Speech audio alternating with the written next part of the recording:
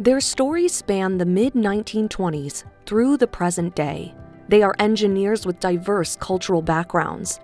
They have been the first, making meaningful contributions and clearing paths for others to follow as they continue to push science and industry forward. Among other firsts, this engineer invented a gigacycle gigahertz range signal generator using semiconductor material in magnetic and electric fields. Her name? Betsy Ancker-Johnson. This engineer was the first female MTT member to become a fellow of the IEEE. She is also a fellow of the Electromagnetics Academy and currently a professor emerita at UMCP. Her name? Kawthar Zaki. This engineer invented a gas density switch that would be used in the US space program, including the Apollo moon landing mission. Her name? Beatrice Alice Hicks. At the age of 27, this engineer co invented the Secret Communications System in 1941. It is still used today for secure communications. Her name? Hedy Lamarr.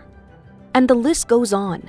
The accomplishments of these engineers landing many in the Hall of Fame. The work has given us a solid foundation to build upon, expanding opportunities for female engineers to innovate today.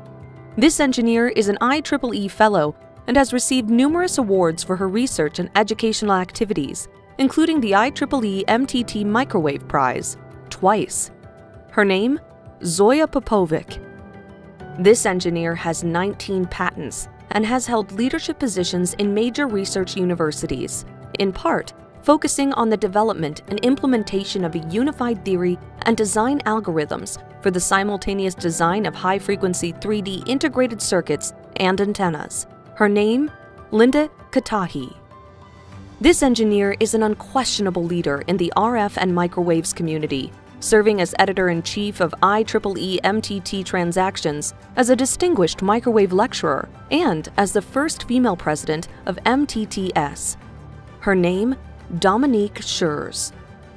This engineer has been investigating novel passive components and integration techniques for millimeter wave circuits and systems since 2007. She is the second female MTTS president and the first female president of color. Her name? Rashaunda Henderson. Women's contributions to microwave engineering are indisputable, and it's important to recognize the work and know the names of these brilliant women, these engineers who came before us, as well as those who are around us now, solving the problems of the future today. Because when we connect ourselves to the past and present, we recognize that we, that you and your work, are the future.